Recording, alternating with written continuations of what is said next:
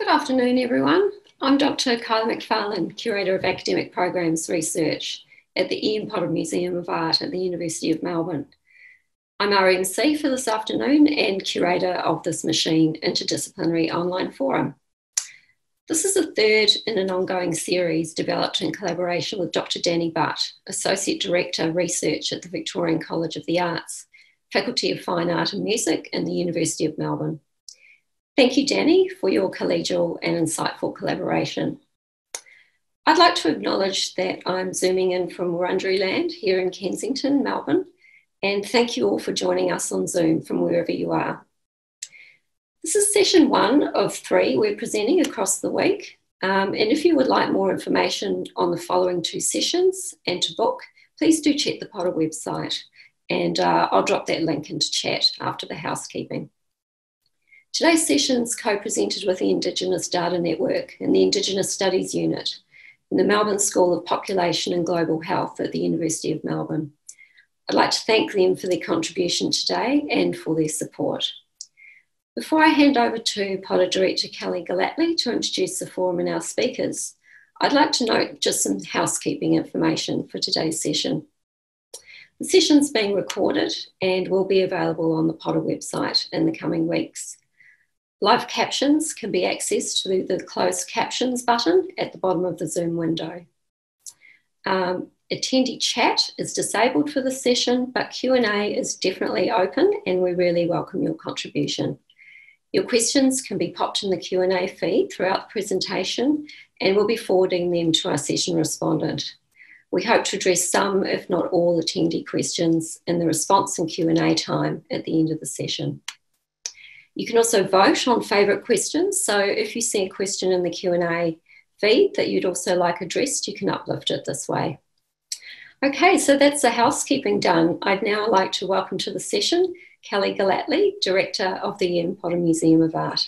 Hi, Kelly. Thank you, Kyla. And hello, everyone. Um, as Kyla said, I'm Kelly Golightly. I'm Director of the Potter, and it's my pleasure to welcome you here this afternoon to the Machine Interdisciplinary Forum. As Kyla noted, it's one in a series of forums we're undertaking at the Potter that proposes art making as a form of knowledge creation alongside other academic fields of inquiry, and which feature a range of our academic colleagues from across the University of Melbourne. On behalf of the Ian Potter Museum of Art and the University, I'd like to acknowledge the traditional owners of the land on which the Potter Museum is located on the University of Melbourne's Parkville campus, the Wurundjeri people of the Kulin Nations, and pay my respects to elders past, present, and emerging. I also extend that respect to any First Nations peoples joining us today, whether from within Australia or further abroad. I'm also joining you via Zoom from Wurundjeri land in Melbourne's east, close to Mullum Mullum Creek, one of the only watercourses within urban metropolitan Melbourne that's surrounded by native and regenerated bushland for almost its entire length, and which was, of course, for tens of thousands of years, um, a place that was used sustainably as a source of food and resources and a place of culture by the Wurundjeri. Each of the Potters forums has sought to address pressing themes of our time from interdisciplinary perspectives. Previous forums have explored themes of water and language, and now we come to machine.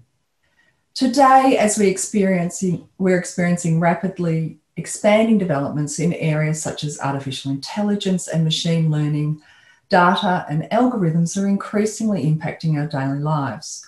From simulating human intelligence to collecting our personal data, the machine of the computer system engages us as individuals, communities, and societies, both as creators and as consumers.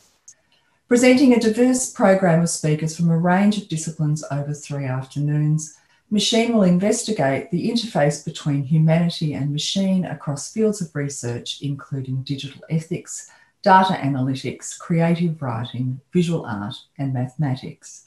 So now to session one. Today we'll hear from Darren Clinch, Levi McKenzie Kirkbright, and James Rose from the Indigenous Data Network on the machinery of creativity, Indigenous data and computation. Darren Clinch, Badimia man from Yamatji country in the midwest of Western Australia, is a Senior Data Analytics Coordinator for the Indigenous Data Network.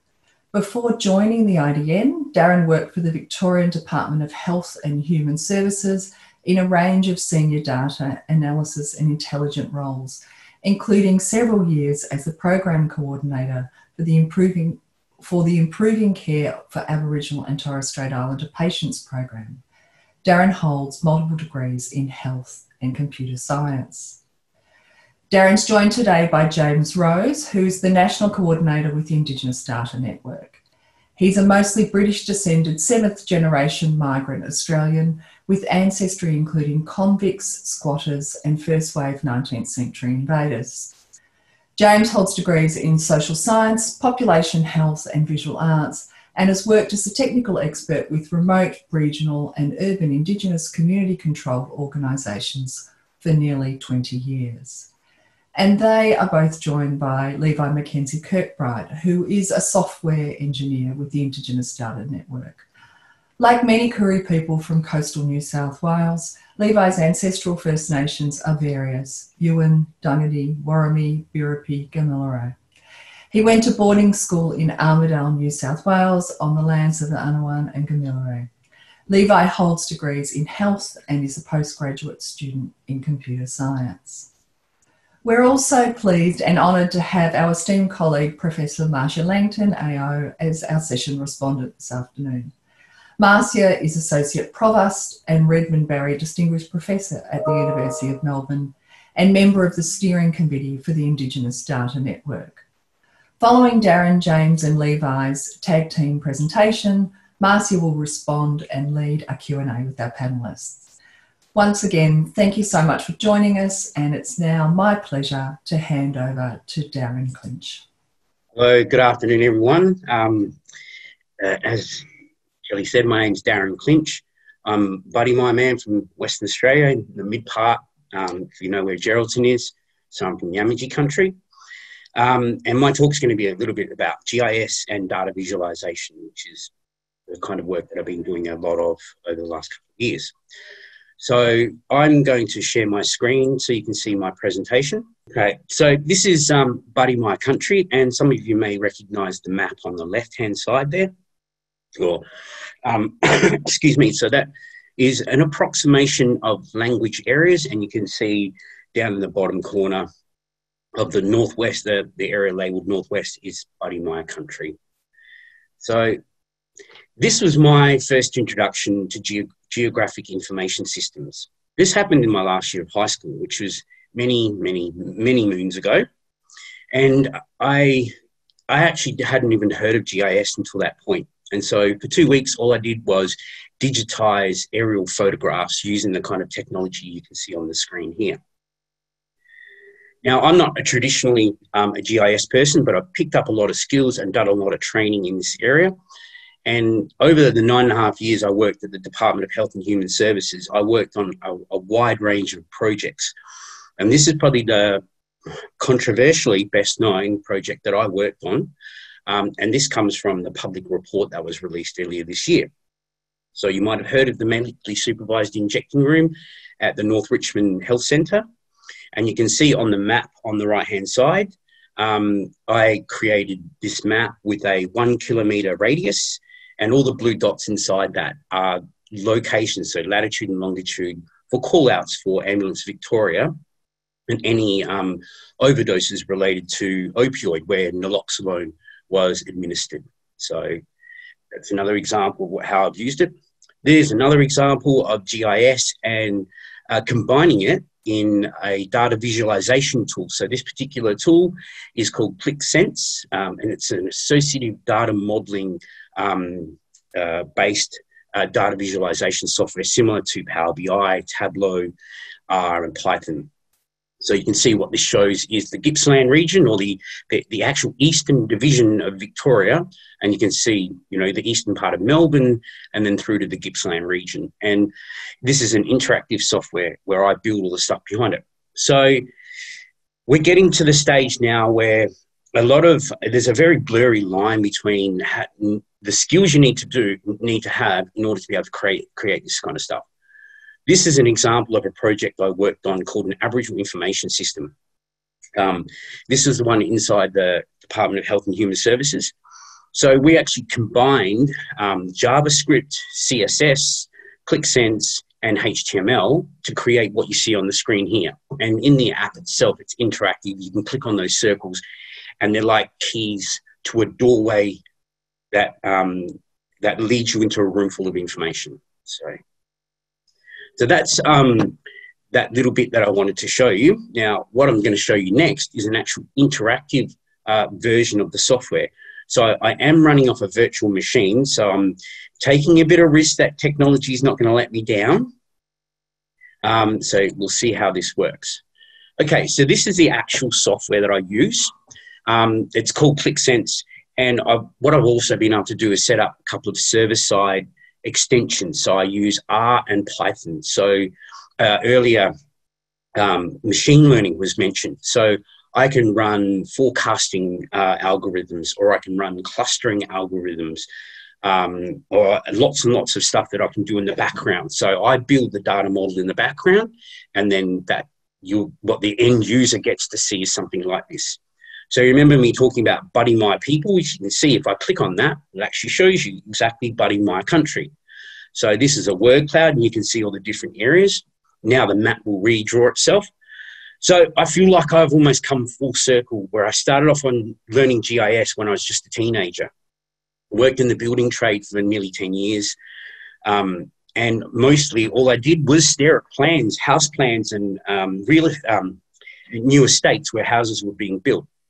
So now I'm transferring those skills into this kind of work where I can narrate a story about data. And what I'll do is I'll just quickly show you the capability of this software. If I was interested in the area up the top, I can draw a lasso like that. Um, and then I'll, if I just say, okay, I've selected that area. And now you can see the word map has changed to reflect the language names that exist in that area. Now, this comes from two different data sets. The polygons that you can see, or the colored areas, they represent National Native Title Service locations they're um, defined as land claim areas. So um, anybody can go and look up the NNTS. And what I've done is I've combined it with um, the AUSTLANG data set, which comes from the Australian Institute of Aboriginal Torres Islander Studies. And they host that particular data set. Now, as you can see, if I point at a particular area on the map, it'll give me the coordinates, give me names, um, and then if I point at one of the dots, it'll give me a language name. So that's an, just an approximate location of where that language was recorded um, back in history. So that gives you an idea of how I combine these things. And then just to give you a little bit of a look in the background, um, this is the actual data model. So what I do is I take data sets and I model them and join them together. So creating a bit like um, Access, you know, the whole Access. So you can see I've got um, linking fields between my different tables. And that's what makes the, the machine run, uh, or makes the visualizations work, I should say. So, um, and this is the kind of work that um, very shortly we're going to be running a national Indigenous mapping workshop. Well, we aren't. Um, there's a, a mob from WA called Winyama, and we've, we've uh, recorded a keynote session for them. But I'm also uh, next year going to be one of the assistant um, trainers and teaching people how they can incorporate GIS in data visualization because it's incredibly powerful. And then also teaching them how to um, combine things like Python algorithms and R algorithms. So then you can get some really um, uh, complex computations done in the background, but then you can get a really smooth and interactive and engaging user experience at the front end where they don't have to see all those algorithms and stuff. But there are lots and lots of Aboriginal organisations, community organisations in Australia that is sitting on tons and tons of geocoded data. But GIS is not being um, a skill that most people think you can have as just an add-on to the rest of the skills that you've got. So I think there's been a real slow progress for people to actually add GIS to their skills capability. But as you can see from the presentation that you can see on the screen, um, it's a very, very useful uh, skill to have.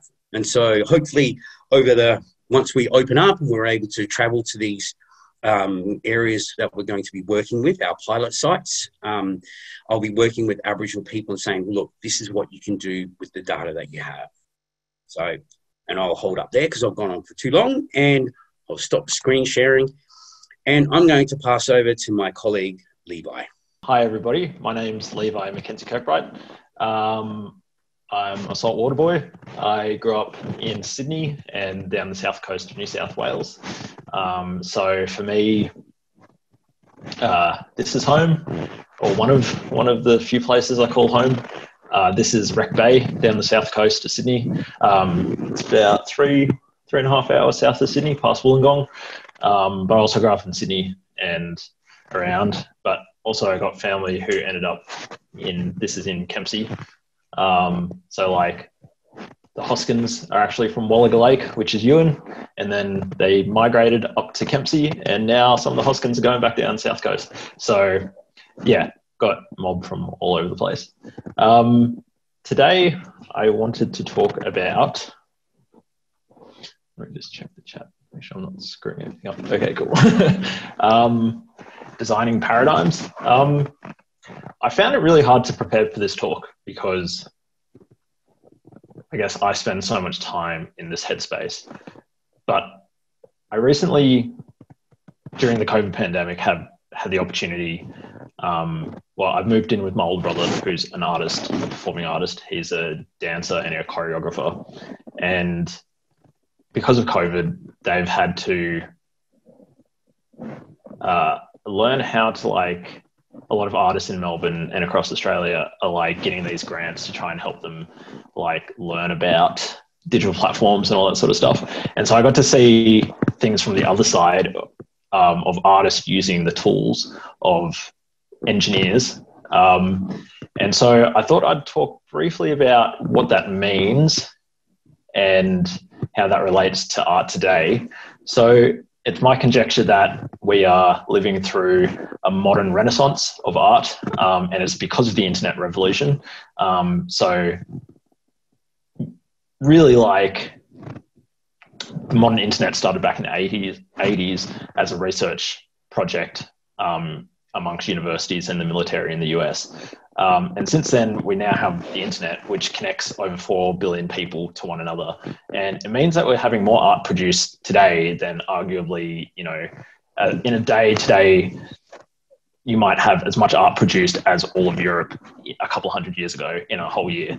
Um, so just to sort of get the point home. Uh, here's some numbers because numbers are good, right? As, as, as an engineer, I'm supposed to like numbers. Um, yeah, isn't that funny that YouTube and Facebook and Instagram, like, they have bigger populations than China and India combined. Like, that's pretty insane. And every single user on that platform theoretically can connect through one handshake to any other user, which means the level of density of the network is just insane. Um, but of course, numbers are boring, right? We're all artists. So this guy has 10 million followers. I don't know who he is. It's just some guy. He has amazing art. I think what's interesting is that this is also a platform, Instagram, um, for Indigenous artists to start expressing themselves. So there's amazing Indigenous artists. I'll show a couple. Um, but the main point that I actually wanted to get to, which I'm just conscious of time, so I'm going to fly through, is that here's my brother's page, Joel.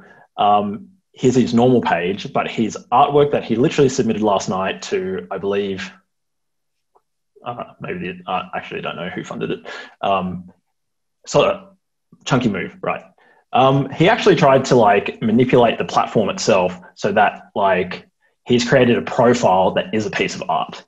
And I found that very interesting because he's actually like tried to manipulate the platform or like play with the platform itself. So each time you click on one of these, he goes into something deeper. But the real question is like, from an artist point of view, like, what the hell is going on here, right? Well, this is what's going on.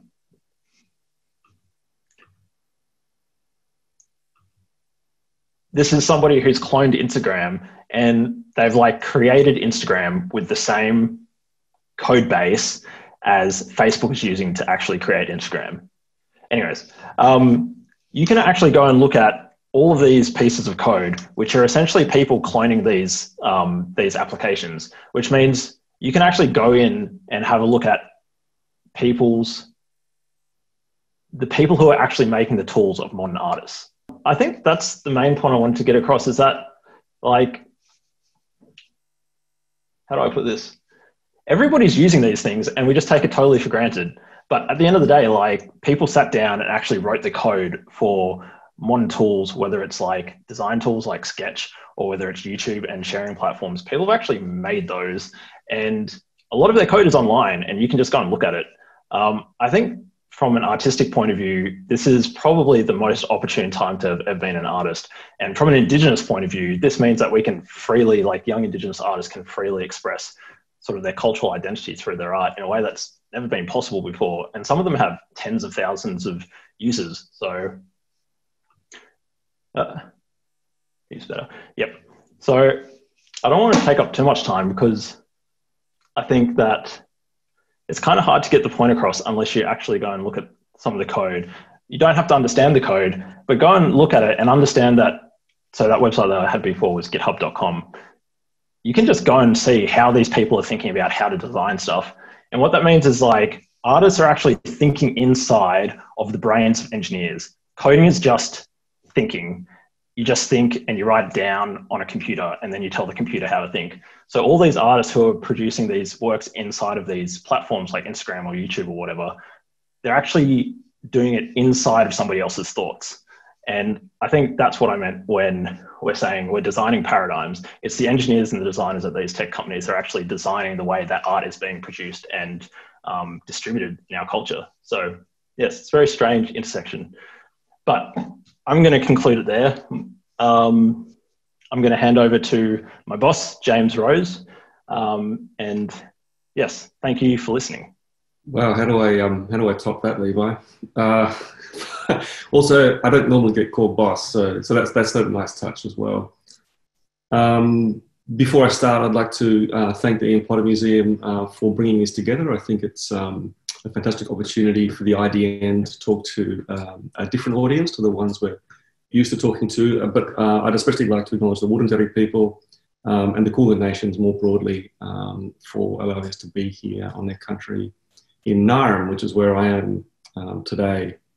Um, so, as Levi um, said, and Kyla before Levi, um, I work with Darren and Levi at the IDN and with Marcia uh, I'm nominally a coordinator, um, which means that I just help sort of arrange all of this incredible expertise and talent um, in a way that can be applied at a national scale, which is a, a, pretty daunting task at times. And I don't get to do a lot of the, the coding that I would really love to be um, doing, which is the kind of thing Levi was just talking about.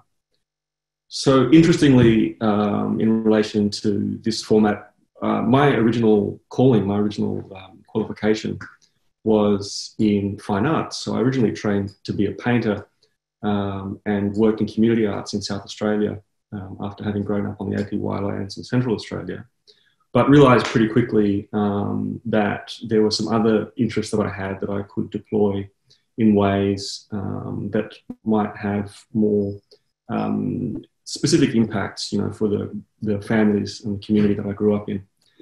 Uh, so I went and retrained in social anthropology and it turned out that that's what I spent most of my life doing up until uh, the point of joining the IDN.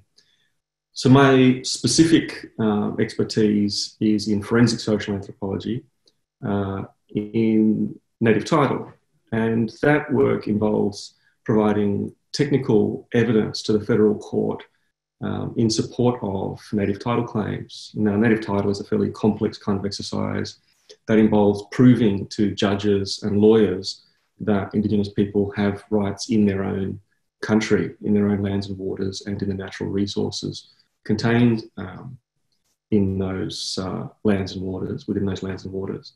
And strangely, um, it's not enough for um, traditional owners themselves to be able to provide evidence to the federal court strangely, um, it has become common practice for the court to call on white people, such as myself.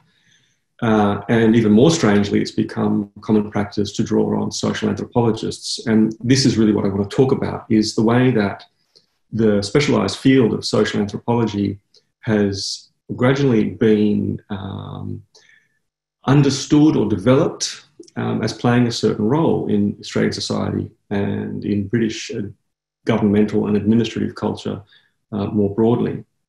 So the reason that social anthropologists are deemed to be the most um, relevant experts in uh, these court proceedings, in native title in particular, is that native, uh, social anthropology is understood as a translational discipline.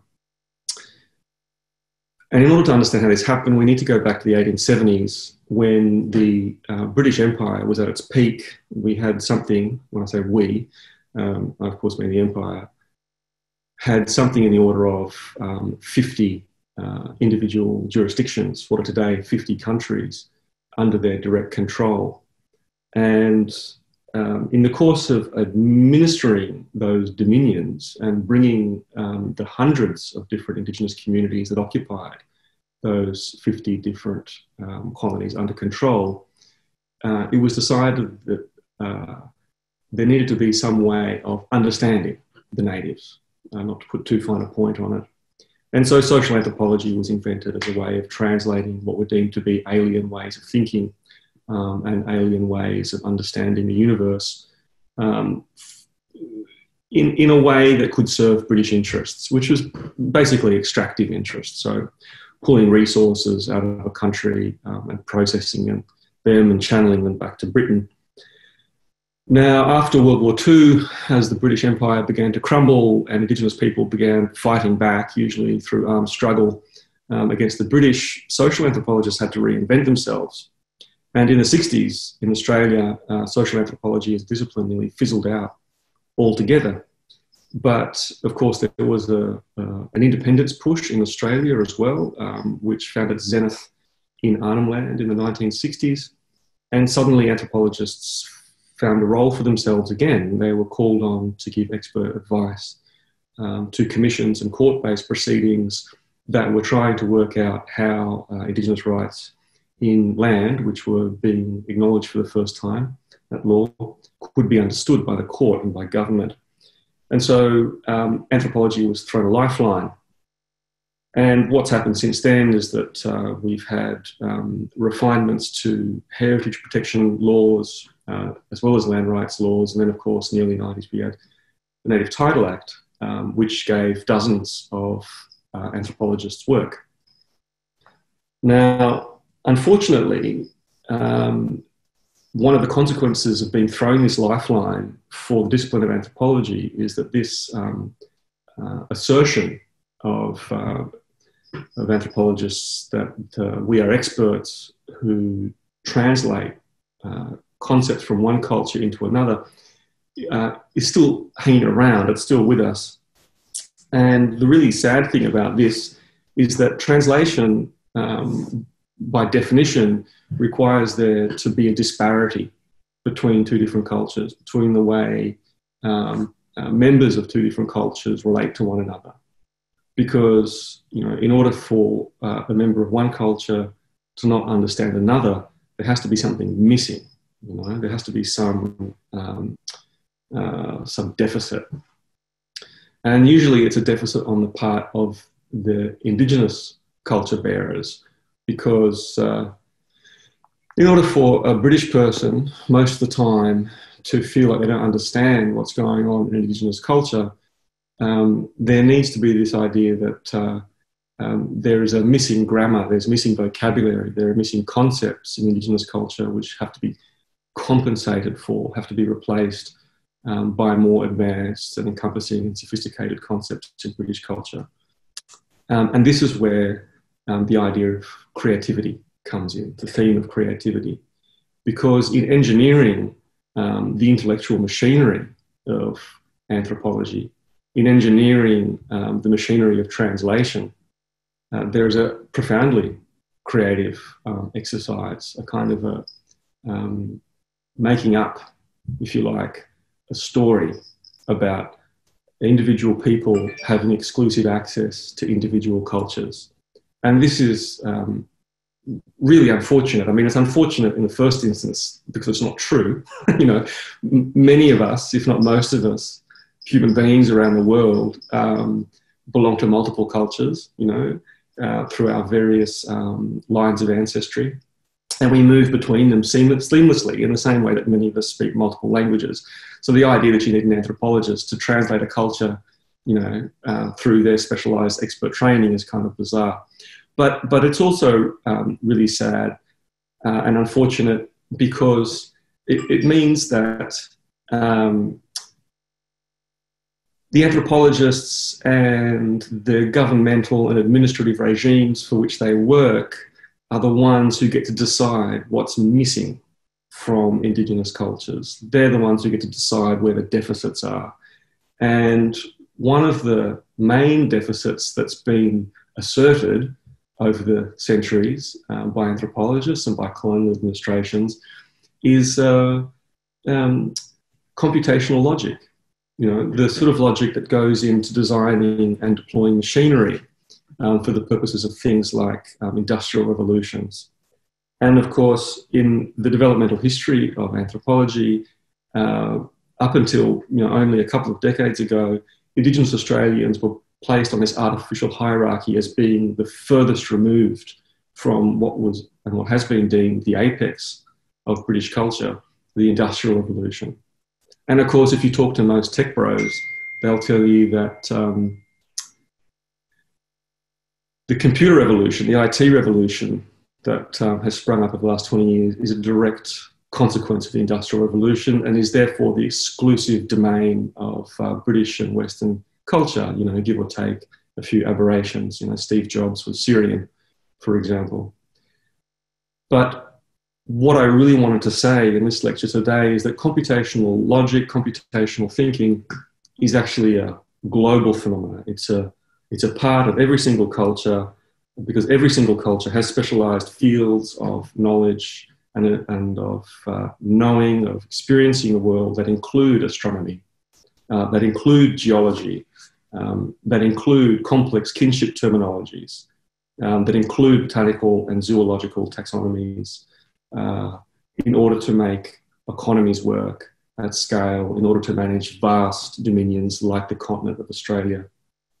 And so, this idea that machinery, computational logic, um, and the creativity that goes with it is itself um, the exclusive domain of British culture because it is British culture that has thrown up this translational uh, field of uh, social anthropology. It's a myth, you know, it's a fantasy, and it is fundamentally um, the creative machinery of a uniquely British way of thinking a creative machinery that positions British culture as the only rightful owner of something, which in fact is the birthright of all people, uh, which is uh, computing, data, and science. Um, and uh, thank you for listening. I really look forward to um, the discussion that uh, Marcia will now be convening for us. Good afternoon, everyone. Uh, it's a real pleasure to join you. At the Machine event hosted by the Potter Museum. I acknowledge the traditional owners of Narm, the Wurundjeri and Bunurong people of the Kulin Nations. Um, and thank you so much to Darren Levi and James for explaining some of the work that we do in the Indigenous Data Network. I uh,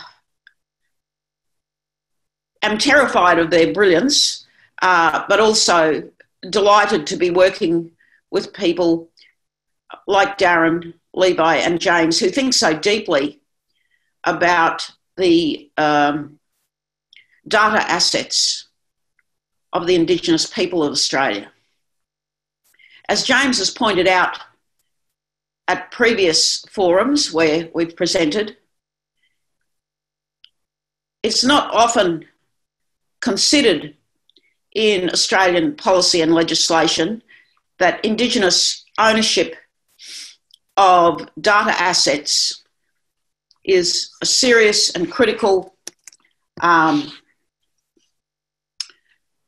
body of uh, knowledge and cultural property and intellectual property uh, that need to be taken seriously in the policy environment.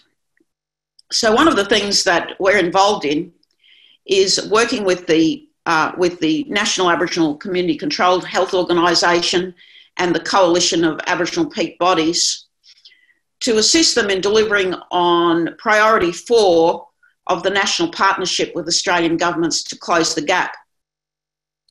And our responsibility is to harness Indigenous data assets in a series of trial regions, working in collaboration with uh, Aboriginal and Torres Strait Islander corporations to establish a, uh, an Indigenous data platform and a system for local groups to um, govern, manage, and use their data assets to establish their priorities for closing the gap.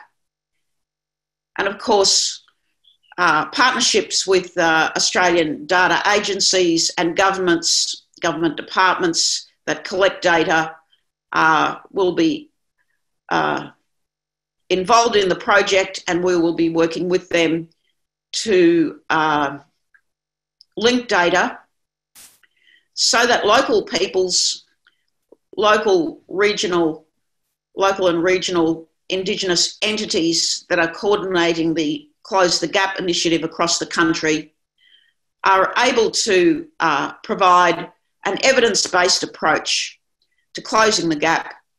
And uh, so you can see that we're well equipped to contribute to closing the gap with uh, Darren, Levi, and James contributing their awesome knowledge of data analysis, coding, um, and ability to build data platforms uh, that will be the province of Indigenous Australia for the first time in Australian history. So, this is a, an exciting and innovative challenge for all of us. And as you can see, uh, our team bring together uh, not just skills in digital technology analysis uh, and data management, but also a deep social understanding and indeed an artistic understanding and cultural understandings of the best way that we can serve Indigenous communities to establish their priorities in closing the gap, but also, most importantly, to govern their data assets and to own them in an environment, in a virtual environment where their intellectual and cultural property rights will be recognised. And so I want to comment uh, on what our team brings to the exercise that's been explained here today. As Levi showed you so cleverly, it's imagined that Indigenous people have no proficiency in the world of mathematics, computer logic, and so on. And of course, Darren and James also commented on this. I hope in the future that we'll be able to present a seminar ourselves on Indigenous understandings of mathematics.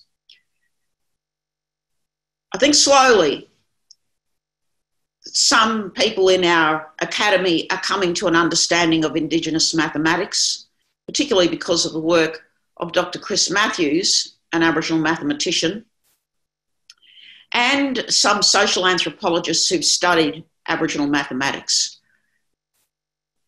let me just say it out loud Aboriginal people could always count, always had a system of mathematics. Now, in some ways, it worked differently from the one that the uh, European slash Western world has inherited from uh, particularly the Arab world um, and uh, predecessors, Phoenicians and so on. But it is indeed a logical system uh, and it is indeed a system of mathematics. We see ev- evidence of it everywhere in the world. We, as anthropologists, social anthropologists, cultural anthropologists, and uh, particularly you can see the computational logic in the way that many Aboriginal paintings are maps of landscape. And they show uh, quite a sophistication uh, in representing uh, what is apparently an abstract uh, uh, representation of uh, geometry, scale, distance. but you have to have the knowledge, the cultural knowledge, to read those paintings as maps and then to understand the uh, the way in which uh, places, events, people, ideas are represented in uh, a representational form that shows uh, geometry, logic, scale, um, uh, numerical uh, concepts uh, and uh, a variety of other uh, understandings of the way that the world works uh, that are inherently scientific. So, uh, for example, um, we see in many Aboriginal paintings a series of concentric circles Sometimes there's two, and sometimes there's seven. Two concentric circles usually represents a uh, an ephemeral waterhole uh, that uh, is uh, unlikely to have uh, a water body at all times. Um, and so the two concentric circles are a uh, measurement of the probability of water being present in the water hole. However, seven concentric circles tells us that there is a very high probability of the water hole having water in it. So, uh, Aboriginal symbols also represent probability.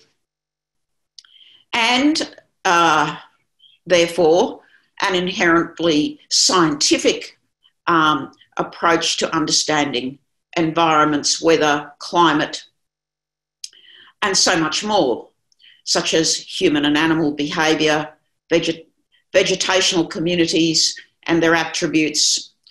So,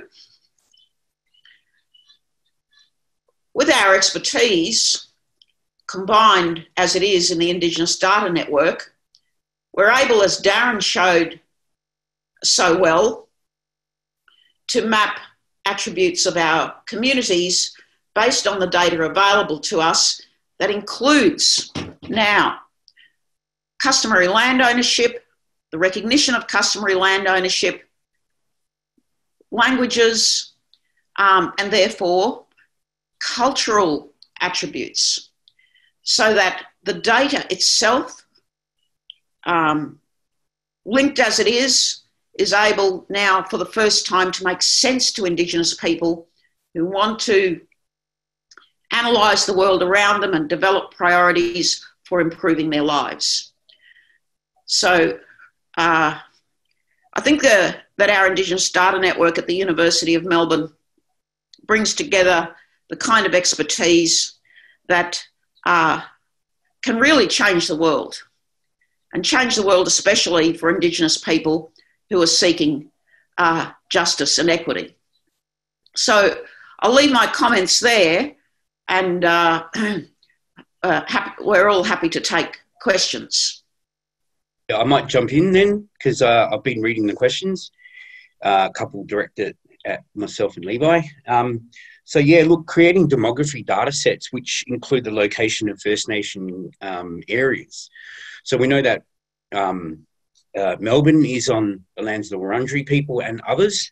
Um, and there's been a, a bit of a, a, push on social media to get people to include the um, name of the location that you're sending a letter to. So on the front of a letter, you might say this letter is addressed to 3000, and underneath that it'll say Wurundjeri country, you know, land of the Kulin Nation. If it's addressed to Adelaide with the Kaurna people, you know.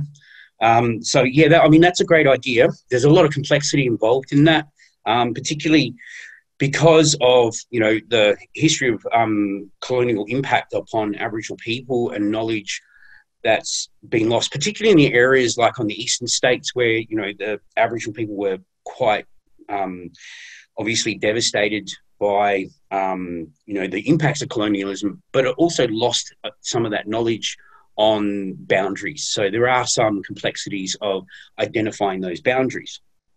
Um, so, and then there was um, also a question around the complexities on cultural protocols and also data sovereignty. So, I mean, James, James both James and Marcia could probably speak to that one. But um, when it, if I just talk about the GIS stuff, um, there was another one where people were talking about data and apps and what the role of open source software can play. So, obviously, I, I use R, which is open source. I also use um, Python, which is open source. Um, and I also do a lot of mapping in R using a, a, um, a software package, a package you install called Leaflet. And I can guarantee you, if you've all been on the internet and you've seen a map somewhere on the internet, it's most likely been generated creating a package called Leaflet. So there are a lot of open source um, things available, especially for Aboriginal communities who don't have lots of money, so they can't buy the really expensive products like you know some of the Microsoft or you know something like Alteryx which is very, very expensive. So, yes, we're keeping that in mind that we need to be able to go to the Aboriginal community and offer them solutions that really suit their situation. Um, and then, obviously, as I said, you know, um, really taking advantage of how much open source uh, software is out there and, and coding and just the growth of code is mind blowing. So, but I'll, I'll, leave it at that. And um, maybe James or Marcia can talk about the, the data sovereignty stuff. Uh, well, I'll flick one question to Levi, uh, and that is uh, Does cloning Instagram's code appear on Instagram or appear as an alternate format? I think uh, somebody sent us the link to GitHub. Do you want to answer that, Levi? Um, yeah, sure. Sorry, I actually didn't explain that very well. Um, essentially, uh, there's these things called Git repositories um, Git is this system for engineers to synchronize their versions of code. Um, and github.com, G I T H U B.com, is the world's biggest platform for developers to share their code. And there's lots and lots and lots. There's you, there's probably millions maybe there's hundreds of thousands of projects um, that you can go and look at there. And a lot of people have cloned Instagram um, and they're using technology that Facebook actually publishes um, called React, which is open source. So, yeah, go and look at GitHub if you want a challenge, if you're not an engineering sort. And so, uh, uh, this is how you find Instagram's code, is it, Levi? Yeah, I sent the message. I sent. Uh, I shared it with the um, moderators, so they might be sharing it to the participants. That's GitHub. GitHub.com. GitHub.com. Yeah. Okay. Thanks for that. Yeah. Here's so another... if you type in, you can search. You can search for different things. Yeah. Here's another question for you, Levi. You mentioned social media platforms have more people than many nation states do. I was wondering what you thought about the prospects of First Peoples' participation in the effective governance of these platforms, which are owned in different territories but spread across the globe. We know that the colonial nation states have been very resistant to effective participation from Indigenous communities in their operations. Are these new platforms better or worse or just different? I'm not sure what he means by new platforms. I think he might be talking about the one that we're building. Yes, I think I think so. Um, yeah, so I guess there's a couple of ways to chop up that answer, like that question. Um, effective governance is a funny is a funny term, right? Like the way the things work is that, like as I said in the talk, it's a trivial point, but it's trivial and important like people actually like sat down and coded and wrote millions of lines of code to build these things. Um, so the only way you can really have effective governance is if you like build it yourself. You know, um, like what are you going to do? Like get Facebook to do what you want it to do? You're not going to do that. Like they're a corporation in America. Um, which moves me on to the second point, which is that um, these multinational corporations don't seem to really have much jurisdictional allegiance. And I think that's borne out, like, that's proven by their behavior with regards to, like, where they keep their money and stuff across the world. So, yeah, yeah. So I, I think, like, national affiliation is something that citizens do, and corporations are not citizens. So they don't have national affiliations. Mm. Um, and lastly, if you say, are these new platforms better or worse or just different? I'm going to interpret that rather vague question as, are the platforms that the IDN is building better or worse or different? I, I hope they're better. Um, my ego would like to say that they're better. um, but like, that's what we'll see. So um, when I, I made this point that like computer programming is just thinking, you just put your thinking onto a computer and the skill is learning how to talk to the computers. So what I'm doing is learning how to code, and what I'm trying to do is make my computer think about data analysis in the way that community health organizations think about it. So me and James, I mean me and Darren, when we talk, we talk about okay, what's the correct representation from the perspective of indigenous organization, health organizations and indigenous community members, like how do they think about their data? And what are the stories they want to tell and then how do we get the computers to replicate that thinking?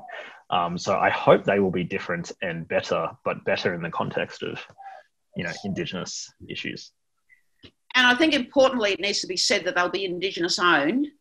And importantly we have to say that we're not building another facebook. What we're actually building is an indigenous data platform for indigenous people so, uh, you know, you won't be invited to set up an account and send messages about what you're eating today. Uh, rather, I think what will happen is that we'll have something that looks a bit like, uh, um, you know, whatever platform it is that Brendan Sutton is using um, to interpret the uh, the trends of COVID 19 in our community on which he reports every day. And so, what he presents to you is data analysis uh, based on the work of you know hundreds of people behind the scenes, um, and he and he presents you with an interpretation that you may or may not agree with, but you know at a very minimum, it is, you know uh, numbers, charts, trends presented in pictograms. Um, and it's that kind of analysis that we are going to empower Indigenous people in our trial sites to do on the basis of the data that is most important to them in their communities. They want to interpret the trends in their communities um, in health, employment, incarceration rates, um, housing, uh, and you know across a range of uh, socioeconomic indicators to improve their health and social standing. So, uh, this will be nothing like Facebook or Twitter. This will be uh,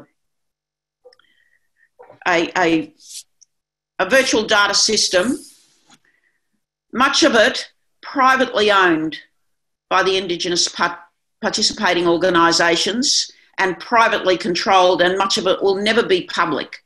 What the public will see is, you know, a Norman Swan type interpretation of mountains of data uh, behind the scenes, um, and which has been um, given uh, permission to be shared by the Indigenous owners. So it's quite a complex um, legal research um, engage legal and research engagement with uh, about six areas in all over the next few years. But there's another question that I think we ought to answer. Um, Uh, James, this is for you.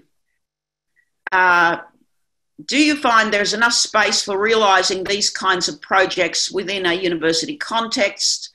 Is the ethics and access keeping up with technology? So you can uh, pick up from where I left off uh, and, and tell us what your thinking is on these matters um, to well, the extent that you want to.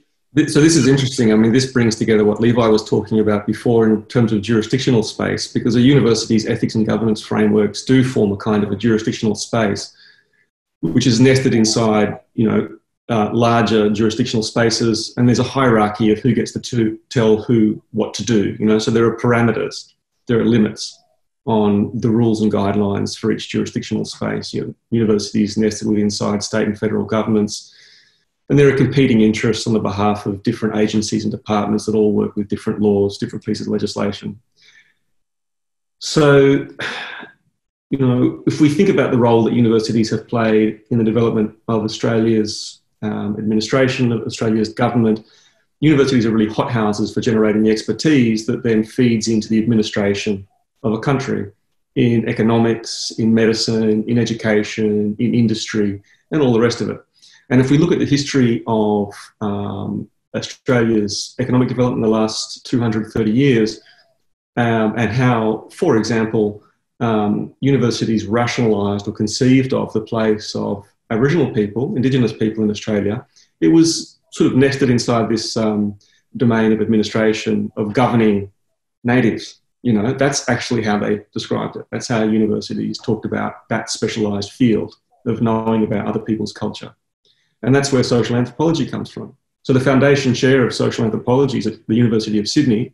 It was created in 1923 um, and it was inhabited very briefly by um, a British South African anthropologist called Radcliffe Brown, um, who left because he was unable to actually have the influence on government that he thought was necessary. Government had a much more pernicious and small minded um, agenda, which was to control the Aboriginal labour force in New South Wales to prevent competition with white labour in rural New South Wales.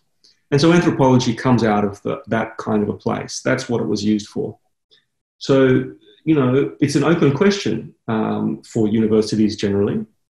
Um, but I think Melbourne University has a fairly um, clear uh, set of objectives, which is uh, evidenced by its establishment of the Indigenous Knowledge Institute this year, which is that it would like to see um, uh, Indigenous expertise driving uh, the, the, teaching um, of uh, knowledge about Indigenous culture, you know, rather than British South Africans, for example.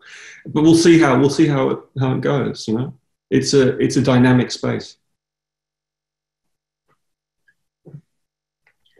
And could I just add to that? you know, we're all employees of the University of Melbourne, and like everybody else, we're committed to the um, frameworks for the conduct of research, ethics, um, protocols for engaging with communities. Um, we're not anarchists. Uh, and the best way to achieve what we want to achieve at the moment is to work uh, at the University of Melbourne which has given us enormous support to achieve what we've achieved so far. Uh, our project is established, it's funded, it's staffed. Um, we have a, a, game plan, a research plan. Um, so we're not independent agents, we are employees of the University of Melbourne.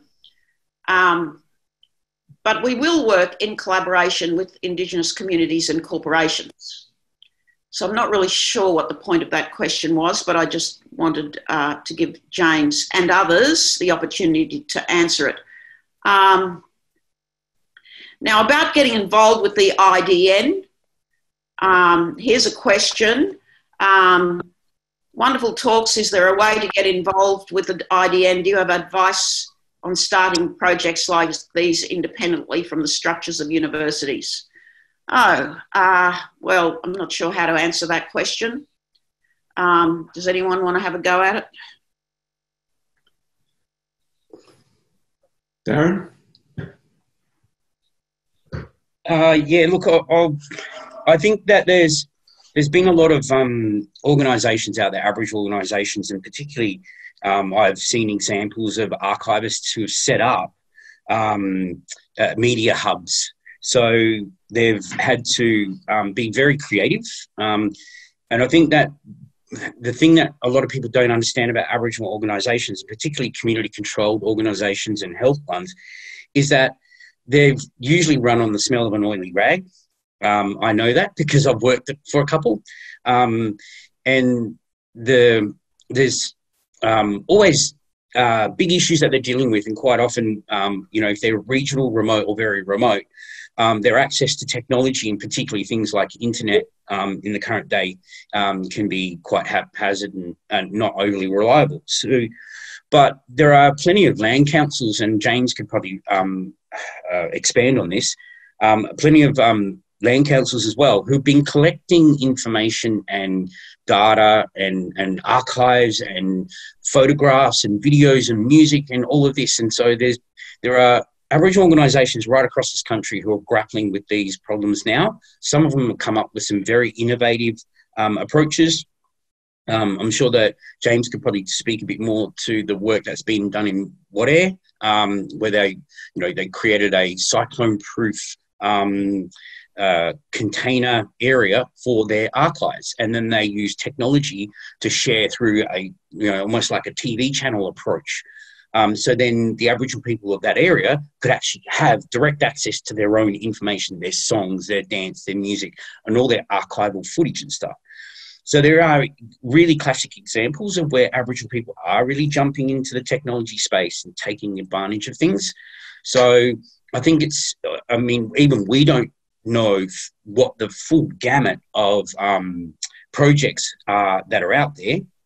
But in this day and age, we'd be more than happy to talk to people um, and, and run through some of those options about, um, you know, what software's out there that you could use, but you really need to work out what you want to achieve with it. So, um, yeah, that's probably my best answer on that. If you want to add to that, James.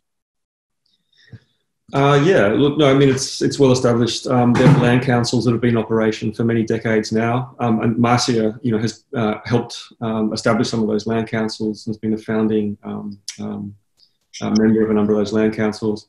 And yeah, Darren, you're you know you're right. There are huge repositories. I mean, treasure troves of uh, cultural heritage information held by those um, those organisations that aren't held by anybody else, as they should rightly be.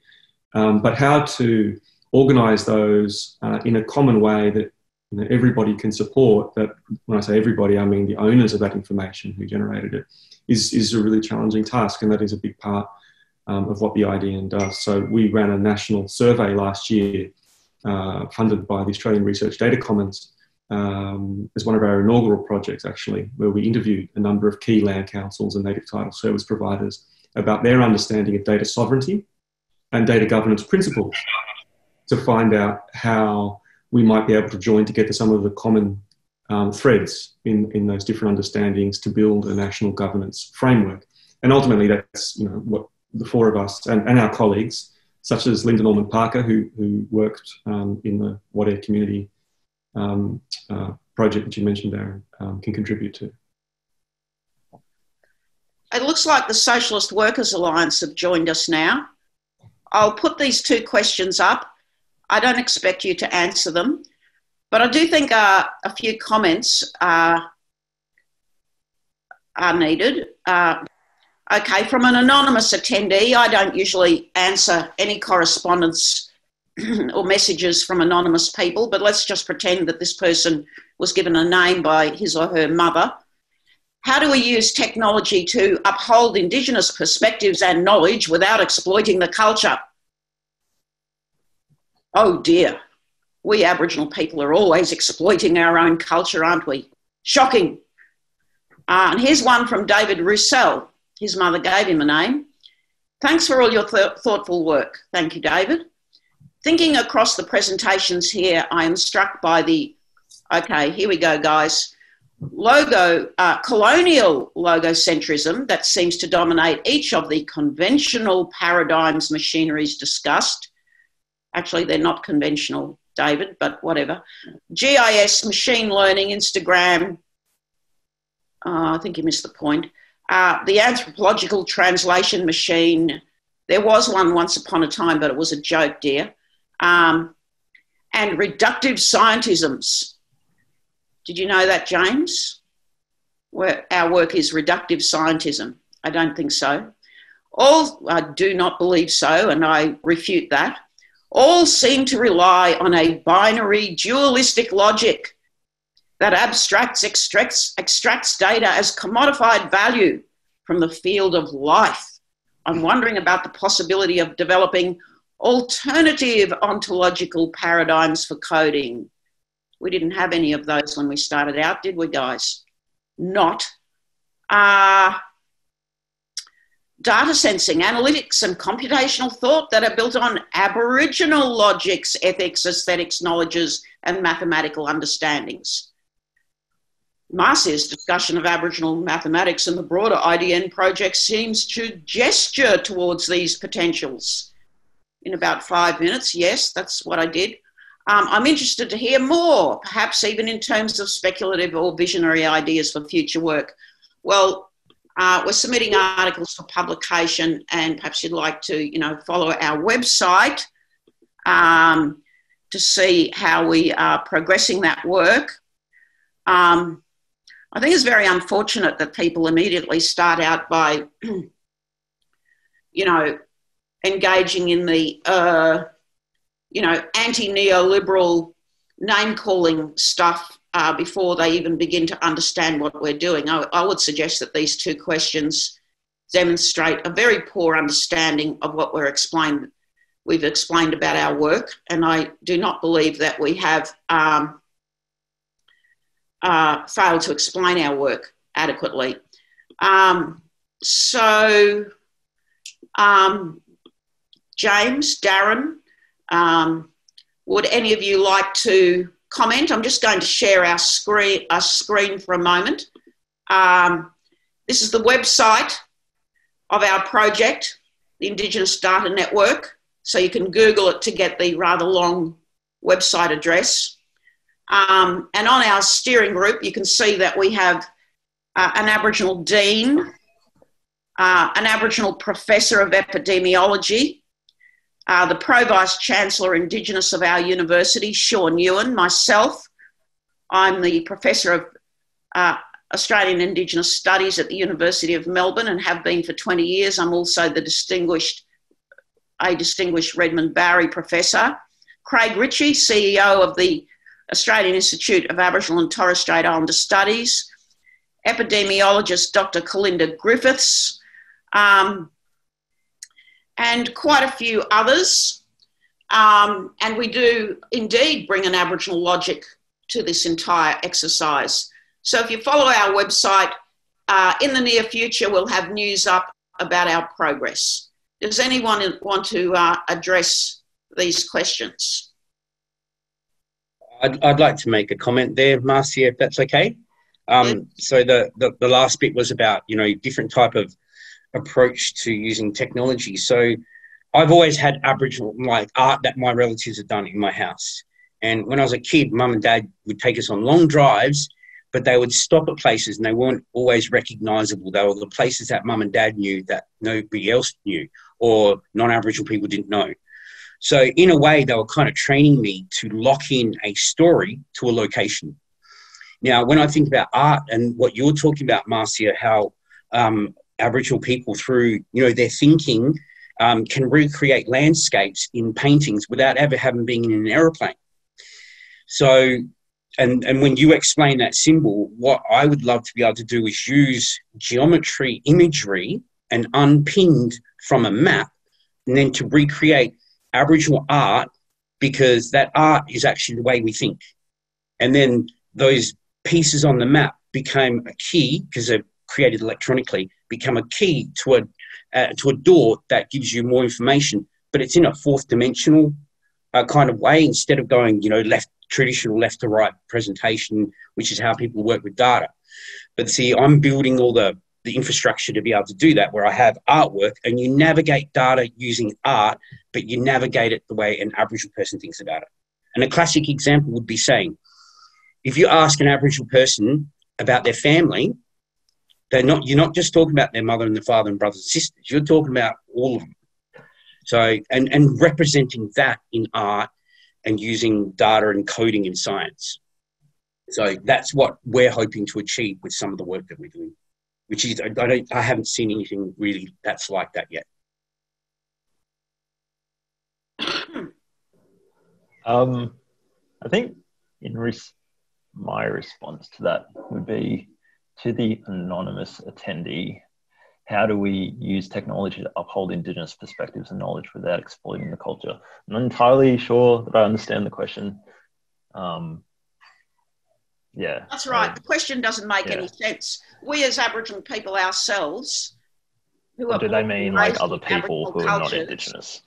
Yeah, we're born and raised in Aboriginal cultures. I don't think we need to uh, tolerate yeah. this kind of criticism of our standing in the Aboriginal world. Uh, yeah. We are free, like any other Aboriginal person, to interpret our cultures and to be innovative with our cultural resources in making our worlds a better place. Uh, and to David Roussel, I think, um, it's a very long comment. I'm not entirely. So I probably deviate from other p- people like a bit. I've had this discussion with James and Darren, although not Marcy yet. but like, I don't really understand what like like mathematics is like just mathematics. Like, sure, there's numerals and like there's different base systems and stuff, but at the end of the day, like we've even got an indigenous mathematician who did his PhD at Oxford, who Marcy introduced me to recently, and he does like the maths of indigenous kinship systems, and he's currently studying evolutionary game theory and the emergence of this thing called the grandmother effect, I think. Um, and but like at the end of the day, he's still just using math. Like he's just like he's sitting down and he's drawing out networks and he's like applying operations over sets of elements or like what you know he's just doing maths and he happens to be aboriginal and he happens to be applying it to something that is cultural phenomenon within within his family um, yeah like computation like computational thinking, like these these things are like universal. Like I was even I like have a program that I wrote a while ago. I wrote it in Python and I was trying to model the Aranda kinship system so that you could like put in a name and then see the relationship to other people. So you could just programmatically like see the relationships. It's actually really hard to do because I'm not very good at it at like network theory. But like at the end of the day, you're just using the computers to do something else that is culturally specific. Um, yeah, so I, I think to get to the heart of what that person's saying, David Russell, the way you do those things, which is um, uh, computational thoughts that are built on Aboriginal logics, ethics, aesthetics, knowledges, and mathematical understandings. Like, if you want to do that, you just get Aboriginal people to build stuff, which means we need to get more Aboriginal people with a strong uh, grounding in numeracy and computer skills and engineering and data. Like we just, if you want those, if you want Aboriginal output, you need Aboriginal people making the technology. And wouldn't it be nice if people regarded us as fully human? That would be nice. Anyway, I think that's all the time that we have for questions. I want to thank everybody for listening to us. Um, it's been a real privilege to join the Potter events team um, and present to you on the Indigenous Data Network. Um, follow our website. In the near future, we'll have news up about our progress. Um, and uh, indeed, we may uh, next year be able to have uh, some online seminars to explain our work further. So thanks to the team behind the scene for enabling this, and thank you very much, Darren, Levi, and James. Many thanks to the staff of the Potter Institute. I mean, sorry, Potter Museum. Um, Thanks so much, Marcia and James and Le- Levi and Darren. Um, what a fantastic session. Um, thanks so much for joining us. And um, thank you, attendees, even though we can't see you. It's great to have you here. And thank you for forwarding all your questions today. I'm sure you'll want to join me in, in thanking our panelists remotely. um, and we will resume tomorrow on Zoom again at 2 p.m. and again on Thursday at 2. Um, we look forward to you, to all of you joining us again. I've linked to the webinar um, for bookings in the chat uh, if you'd like information on the following sessions or would like to book into them. Uh, and check the Potter website for details. And just a reminder too that um, we're recording all these sessions and they will be on the Potter website in the coming weeks. Thanks everyone.